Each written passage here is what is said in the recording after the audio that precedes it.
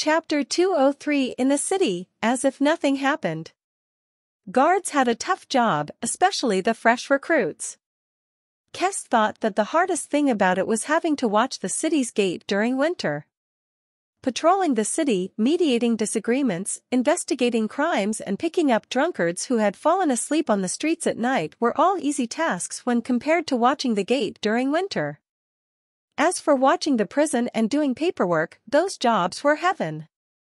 The reason why watching the gate was so tough was because guards could not afford to lose focus.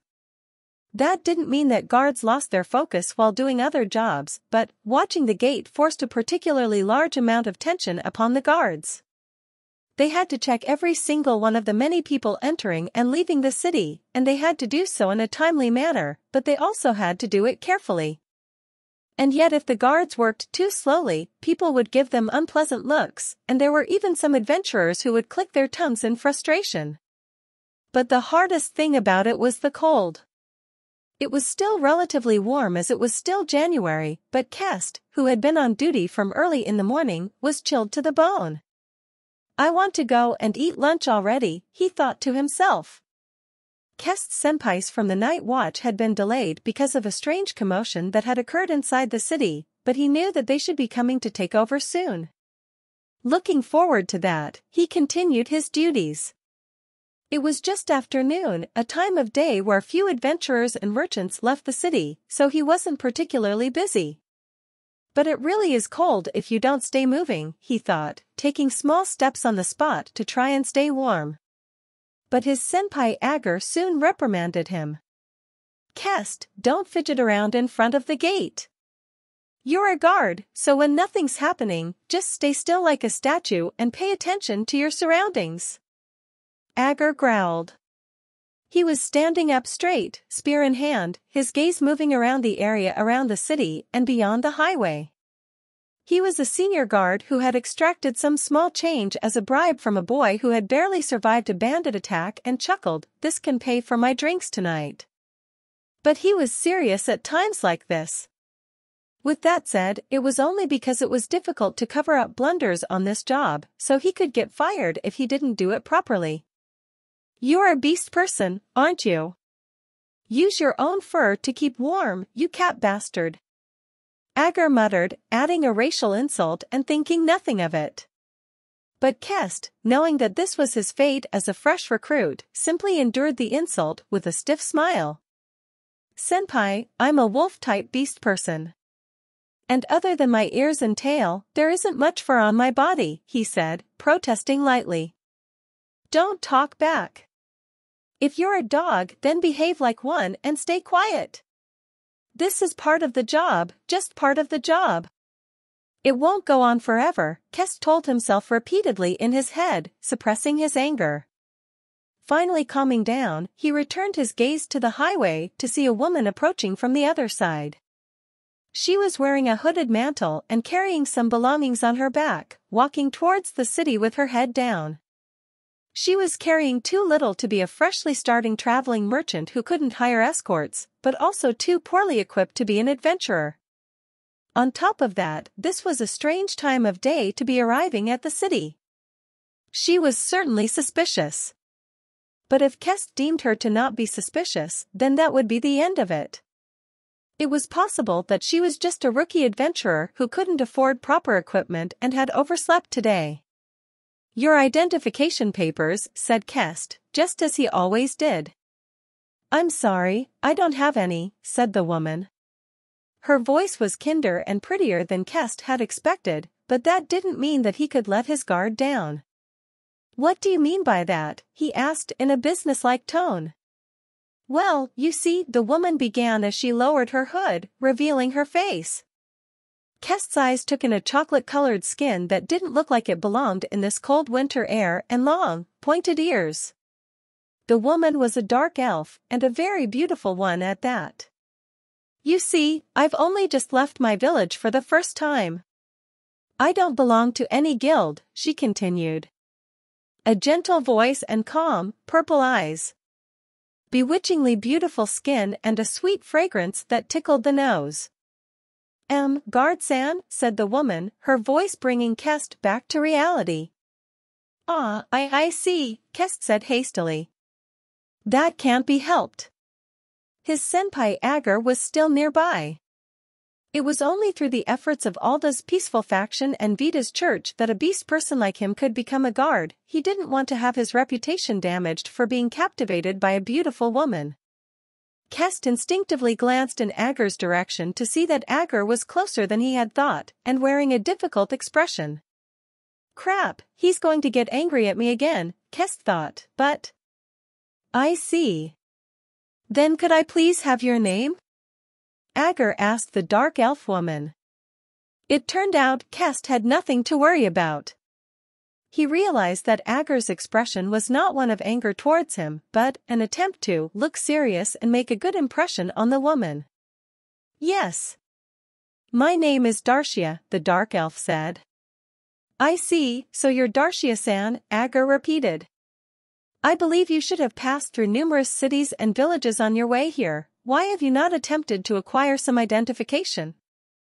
That's. Agar continued conversing with Darcia, ignoring Kest entirely.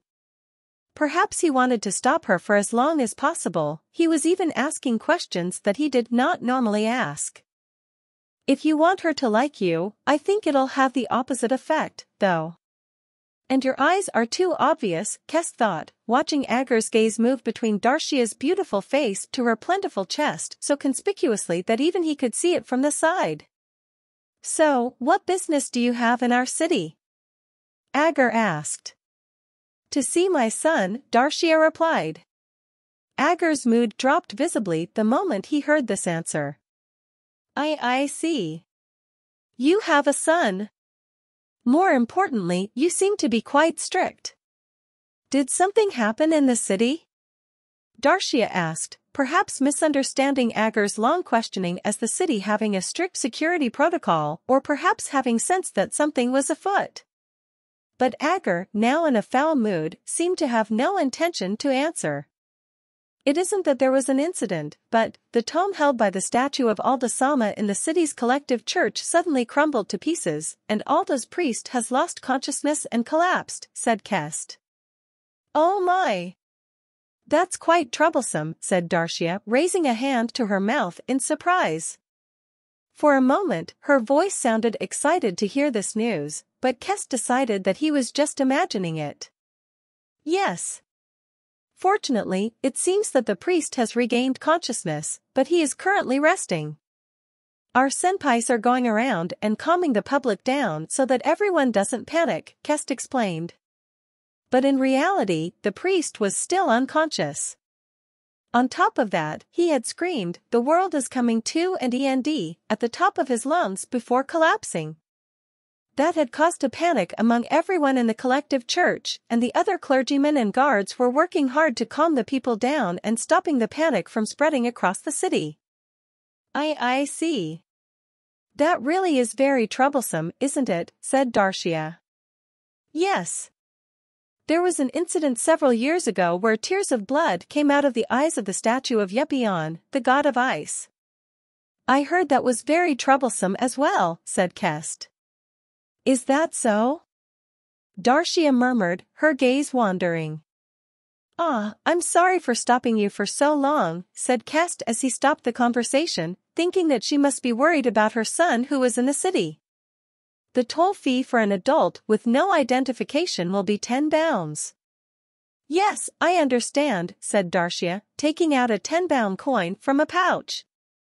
Before Kest could move, Agar, having recovered from his shock, took the coin, going out of his way to hold Darcia's hand in both of his in doing so.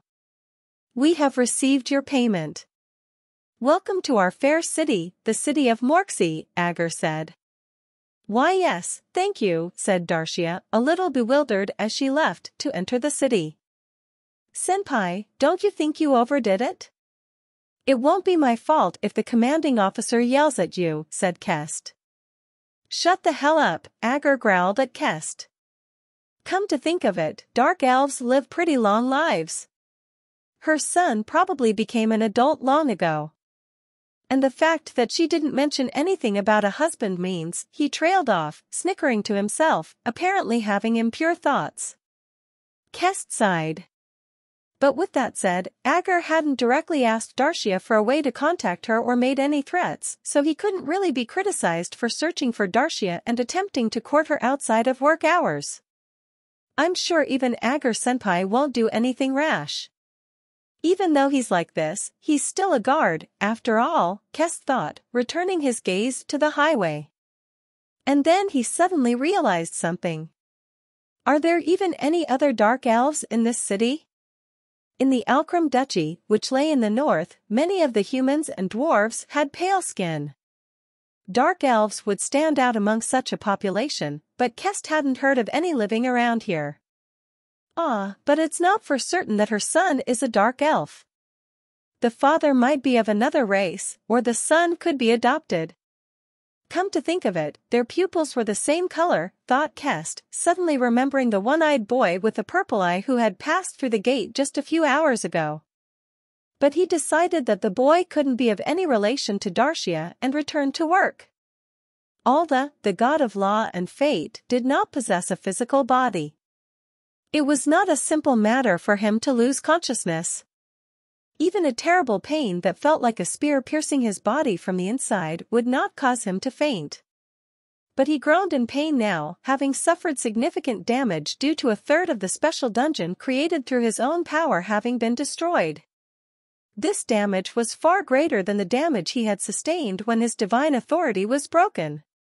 But he had managed to limit the effects that this had on Lambda's surface more than when the spirit clone of Yupeon, the god of ice, was destroyed the damage he had sustained would likely recover in several years' time. After all, he possessed greater individual strength to begin with, and he had far more worshippers than Yupeon. Report, Alda ordered. My lord Alda, I think you should rest for now, said one of the other gods. We are gods.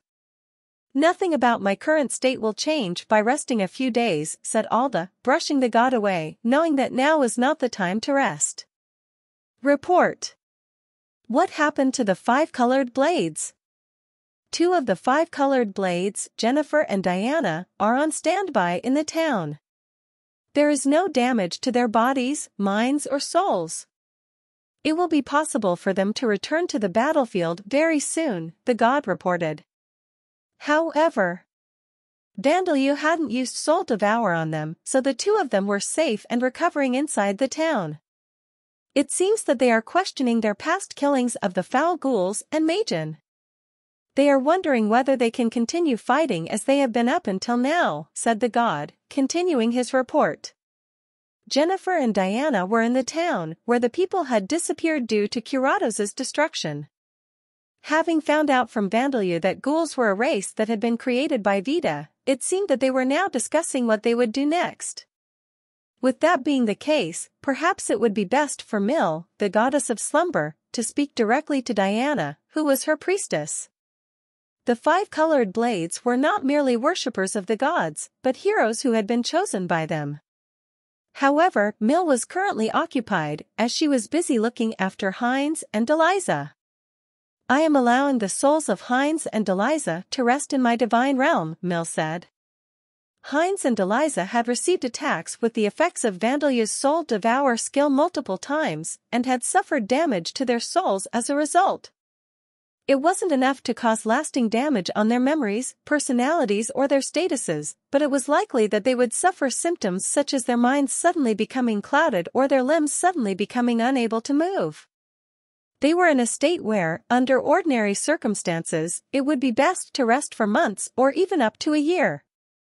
But they were being treated inside the divine realm of Mill, the goddess of slumber. The damage to their souls was recovering several dozen times more quickly. Delizah will have no problems if she rests for a few more days, said Mill.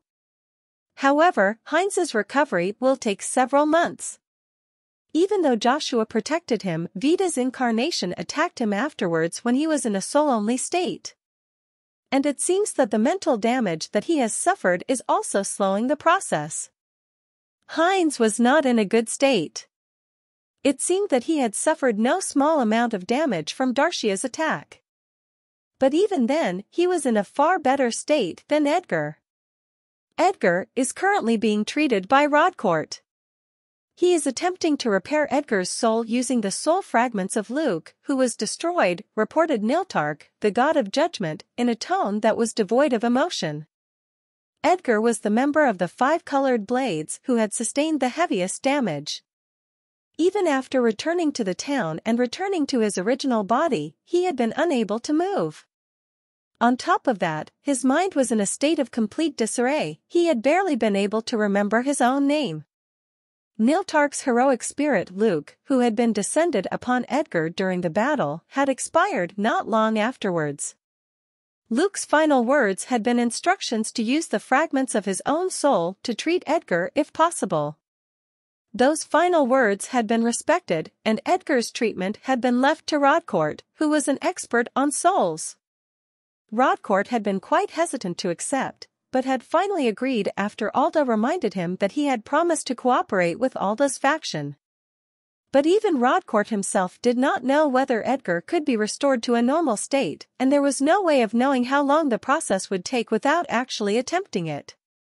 Thus, it was unclear as to when the five-colored blades could all resume their activities. Everyone other than Edgar would be able to begin working again in several months, but the important floors of the dungeon had been destroyed, the 66th floor and the ones beyond it, which they had not yet faced. And even if the dungeon floors had been intact, Curatos, the god of records, had been destroyed. Without him, the copies that would become trials for the party could not be created. The dungeon currently had no traps or treasure chests, it was now nothing more than a very long hiking course. It was therefore impossible to make Heinz and his companions any more powerful than they were now. From this battle, the gods had learned that it would be a mistake to believe that the five-colored blades would be able to fight against the current Vandalieu to some extent under the right circumstances, that it would be a mistake to assume that the right circumstances could even be wished for. Alda, what if we end the five-colored blades training here and have them begin a crusade in several months' time?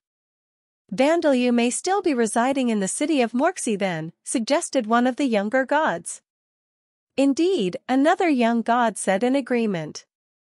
There will be a chance at victory if we gather the heroes that we have been raising and have Heinz and his companions lead them after they have recovered. Silence, said Niltark, standing up to speak before Alda could even respond. Do not trouble our lord with your foolish plans. F foolish, one of the younger gods repeated incredulously. Niltark Dano, that manner of speaking can be considered rude even when coming from someone of your stature, protested the other. We understand that your heroic spirit was destroyed, but we would like you to refrain from taking your anger out on us. But Niltark's expression was one of exasperation, not anger. Allow me to ask, then, Arkham, god of the blue sky. How many forces will we be able to gather for this crusade to the city of Morksi in the Alcrem Duchy of the Orbaume Kingdom? Of course, it will be possible to gather all of our war forces if we are given several months. It is likely that we will be able to gather all of the heroes and include more fighting forces from every church. If we have Heinz stand as a leader, those who have deluded themselves into thinking that they are devout followers of Vida, members of Vida's races themselves and even adventurers who never attend any church would join the line of battle, said Arkham. Niltark gave another deep sigh. Why don't you understand that that would be impossible? As a god, you should be able to comprehend this. The gods of Alda's forces were raising heroes in order to defeat Vandalieu. Many of them were just ordinary guards, squires, rookie adventurers or mage apprentices, but they were going through training and developing after receiving divine protections from the gods. Indeed, if they could be gathered, it would form a considerable fighting force. However, not all of them were in the Orbaume kingdom. About half of them were living in regions controlled by the Amid Empire. How would the forces living in the Amid Empire gather in a city in the Orbaume Kingdom, a nation that was the Amid Empire's enemy? No matter how one thought about it, it was obvious that they would be stopped by the armed forces at the border between the nations in the Sauron Duchy. There was the option of having them sneak into the Orbaume Kingdom, but there were dozens of heroes, and including their companions, that would be hundreds of people. That was far too many to sneak into the Orbaume kingdom within the space of a few months. I am sure that you would not be foolish enough to suggest that we teleport them across like Gufadgarn? Niltark continued. It is already clear that Zuruwarn, the chief of the gods of the space attribute, is on Vida's side. We cannot acquire their assistance when they are focused on maintaining the attribute, and even if we could, we should not ask them for it. There is no telling where the heroes that we have put so much effort into raising would be sent off to. Then there should be no problem with borrowing the strength of our followers who have ascended to divinity and become gods of the space attribute, said Arkham. In order to take a step closer to having a stable maintenance of the world, Alda had turned qualified believers into new space attribute gods to join the remaining space attribute gods in their work. At first, it was to replace the large number of space attribute gods that had been lost in battle, but now that the situation was like this, they had to be used. But they were far too few in number. Do not be so foolish. There are far too few of them. Perhaps they could teleport some heroes once or twice, but are you really suggesting that they possess enough power to exert it upon the world's surface multiple times in quick succession? If we were to make them do that, they would be extinguished from existence, said Niltark. Perhaps only realizing the reality of events in the world for the first time from hearing Niltark's words, Arkham let out a short gasp and looked away. Incidentally, relying on human mages was out of the question. Almost every space attribute mage capable of teleporting other people over great distances was already employed by influential noble families or large churches. Requesting for their help would need information to be given to their respective organizations. There was no doubt that this would result in a crisis. If they did not do this very carefully, a great war could break out between the Amid Empire and Orbaume Kingdom. In the worst-case scenario, the heroes of the Amid Empire and the heroes of the Orbaume Kingdom might begin killing each other. After all, the Amid Empire and the Orbaume Kingdom were nations that had engaged in bloody feuds since they were founded. In ordinary circumstances, the gulf between the nations would be bridged by the newly appointed Pope Eilik of Alda's Church in the Amid Empire and Heinz, the successor to Bellwood, after he finished his training. Led by these two individuals, the nations would overcome their differences and humanity would unite in order to vanquish the Demon King. At least, that had been the plan, but... In any case, the forces required to defeat Vandalieu cannot be gathered in a matter of months, said Niltark. In addition to the gap in the fighting forces left by Edgar, Heinz had lost his heroic spirit, Joshua. He was currently only able to summon a familiar spirit upon himself even with heroic spirit descent. Of course, Alda had numerous heroic spirits other than Joshua. However, that did not mean that any of them could simply replace Joshua. All heroic spirits were once originally humans, and they had their own personalities. Unlike familiar spirits, each would have their own compatibility with certain individuals. Heroic spirits could not be summoned unless their compatibility was good. Joshua had been the heroic spirit with the best compatibility with Heinz. Then, we must simply have the other heroic spirits compensate for the ones that were lost, Arkham began. Even if the heroic spirits did compensate for the ones that were lost, it would be meaningless before a Vandalieu who is free from any unfavorable circumstances with his own fighting forces gathered, said Niltark. Unfavorable circumstances? Arkham repeated. Was it not Heinz and his companions who were taken by surprise? It is the complete opposite, said Mill, the goddess of slumber, answering in Niltark's place. It is true that this battle was unforeseen by Heinz and his companions, but judging from the records, the same is likely true for Vandalieu. Though his body was elaborately reproduced, it was still a fake, and he was forced to materialize his own soul in order to compensate for that. And none of his subordinates were with him.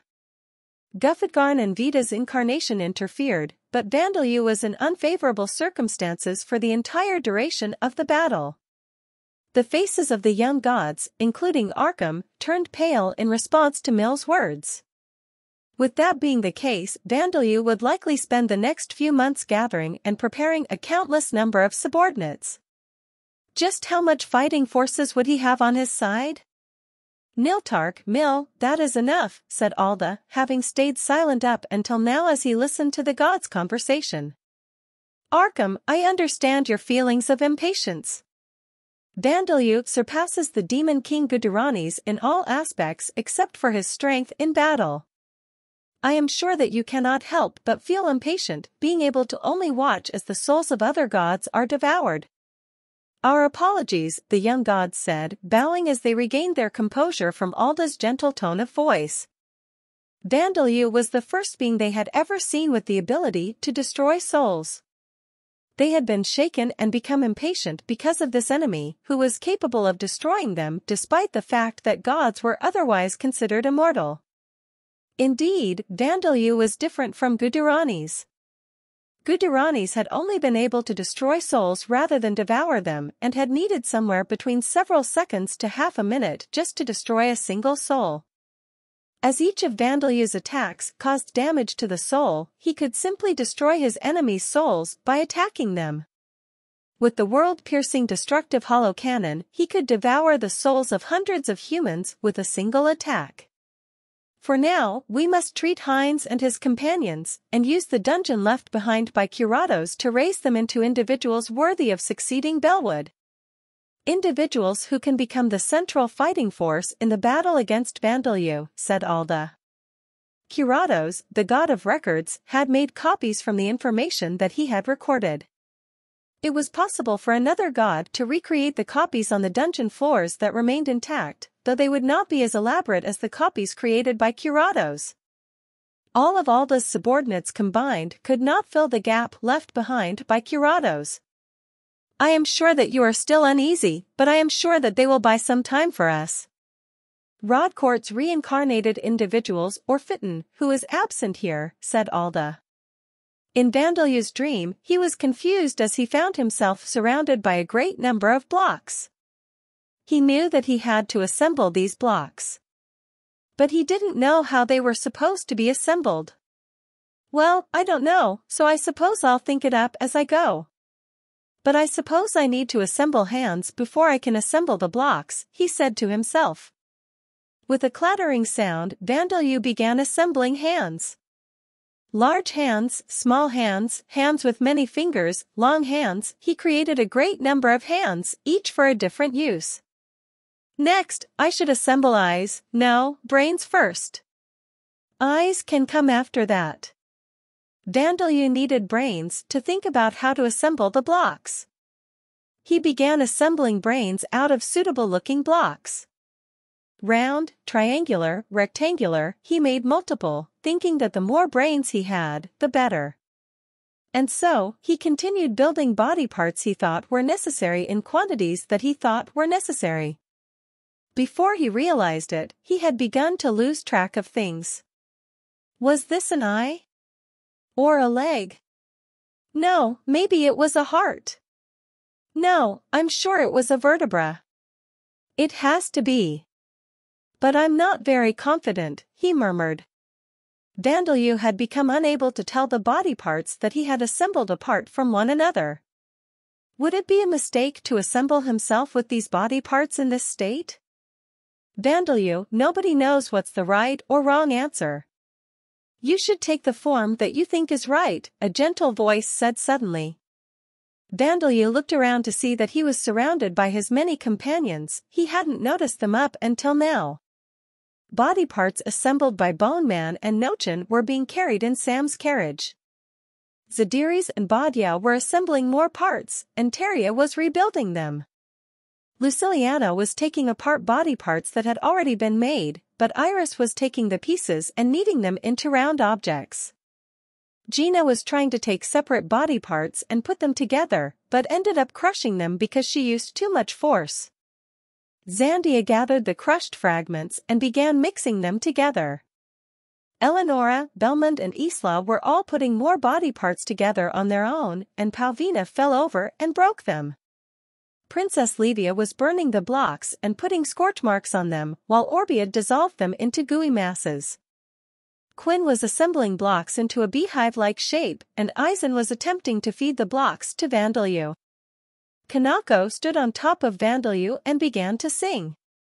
Everyone else was putting the blocks together as they pleased. It was very, very fun. Where am I? asked Vandalieu, seeing a beautiful ceiling as soon as he woke up. The room was smaller than the shared room of the Starling Inn, but he had the feeling that it was higher in quality. The back of his head felt warm. Good morning, Vandalieu. Mom? Vandalieu was lying with his head in Darcia's lap. This is the Spring Day Pavilion, said Darcia. Your room in the Starling Inn was a shared room, so I vacated it and got a personal room here. It's a place somewhere in between a high-class inn and a cheap one. More importantly, why are you here in Morksi, Mom? Vandalieu asked. And your skin color has become a little brighter. I do remember you and Gufadgarn coming to help me, though. You remember that? Darcia exclaimed. Th that's amazing. Even in that condition, you were in your magical girl outfit with your transformation staff activated. You don't need to remember that.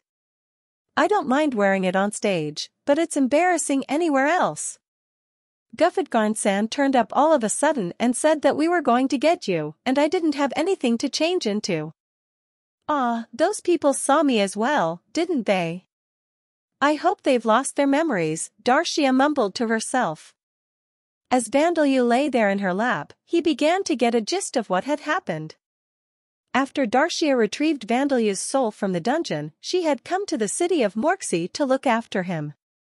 She had used the chaos skill to change her skin color so that she appeared as an ordinary dark elf. Belmond and Eleonora were in the city, but they had taken over the criminal organization here, so they had likely been apprehensive about being seen by the city's people if they had come to him to help directly. The fact that Gufadgarn wasn't anywhere to be seen was possibly because she was considerate enough to leave Darcia and Vandalieu alone to have some mother-son time. Thank you, Mom. Gufadgarn, too. I've made everyone worry about me, said Vandalieu. He heard a warm response from Gufadgarn inside his body. Darcia stroked Vandalieu's hair with her warm hand. Is your body all right? Is there anything strange about your status? Darcia asked. My body feels really heavy, but I don't think there's anything wrong with it. As for my status, my mana is regenerating very slowly. Maybe it's because I tore my soul into pieces and then essentially ate myself? Vandalieu wondered. Yes, Darcia agreed. But Vida-sama said that those side effects will be gone after a week at most, and then you'll be back to normal. I see. Then I'll go to the Commerce Guild tomorrow. Vandalieu had recovered about half of his mana. He wouldn't have any difficulty doing the things that he had planned. If he was going to make a full recovery in about a week, it was probably fine to begin making his move now. He couldn't afford to just sleep as he lured Murakami and Berkine here either. I see, then I'll go with you. It's my first time going to the Commerce Guild as well, so I'm a little excited, said Darcia. Eh, you're coming as well? Yes, of course. That's why I came here through the city's gates, after all. It seemed that Darcia hadn't come here just to look after Vandalieu. What about your sermons? Vandalieu asked. Kanako-chan is adding some new members, so it should be fine for a while, Darcia replied. It seemed that Kanako had made use of Darcia's absence to persuade candidates to join her idol group by telling them it's for both Darcia-san and Vandalieu's sakes. And this city is quite nice, isn't it? I wasn't denied purchases for being a dark elf, and the guards and the people running the inn were nice to me. I don't get any unpleasant stares from alleyways either, said Darcia. Such persecution had gone unpunished during her days as an adventurer in the Amid Empire. Vandalieu felt a sudden urge to bombard the Emperor's castle and the great church of Alda. Well, there was someone who gave me a little trouble, but it was just one, said Darcia. Though he had no proof of this, Vandalieu immediately remembered Agar, the guard who had demanded a bribe from him. Perhaps it wasn't too late to go and turn him into meatballs for Quinn's children. No, no, mom's just too beautiful for her own good, so I'd end up committing mass murder if I killed every single person for things like that, Vandalieu told himself. Is something wrong? Darcia asked. It's nothing, said Vandalieu. Well then, let's do our best with the skewer stall tomorrow. Yes, said Darcia, giving a happy laugh. I'm looking forward to it. And so, the sun set over the city of Morksi, none of its citizens aware that it was now inhabited by the Demon King.